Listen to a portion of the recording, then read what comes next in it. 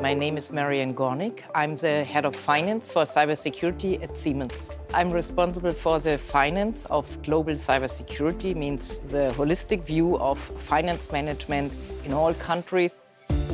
My career here or my path in Siemens was not very typical because, first of all, I didn't study at all. I did a regular apprenticeship with a lawyer's uh, agency.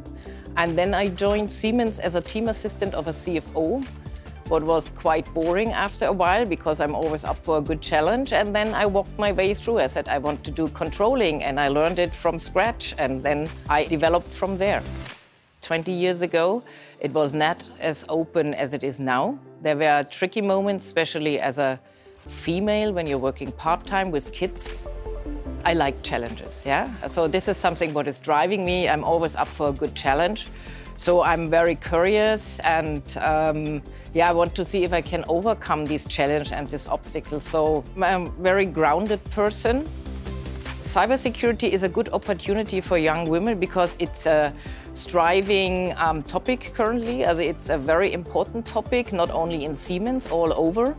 And um, there are many career passes, expert passes possible here. With the challenges on the market and out there, there's always something new and you have to react as a finance. You have to prepare the baseline here. Everything is possible with a good portion of creativity. You can solve every problem. I mean, this is uh, what is probably not known in finance or not known about finance. We are very solution oriented. So in the end, we find a way. My advice for young females or for young people is find your voice don't be shy, be bold.